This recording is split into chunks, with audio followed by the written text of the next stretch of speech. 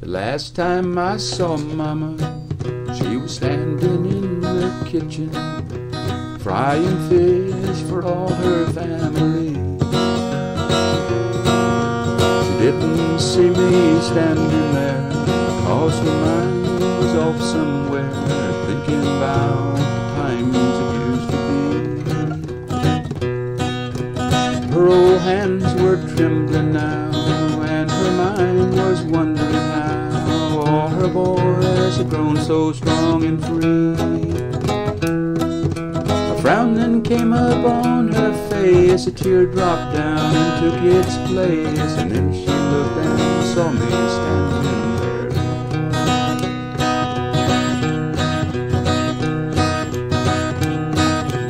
In her eyes I saw the joy of a mother's love for a little boy.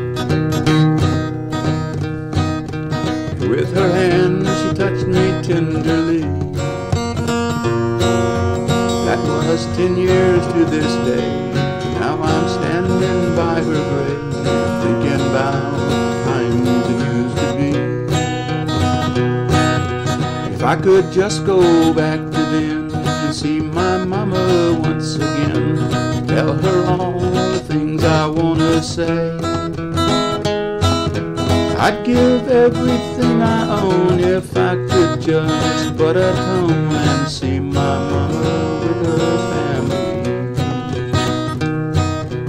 Last time I was out there, trying to, you know, I guess that's it.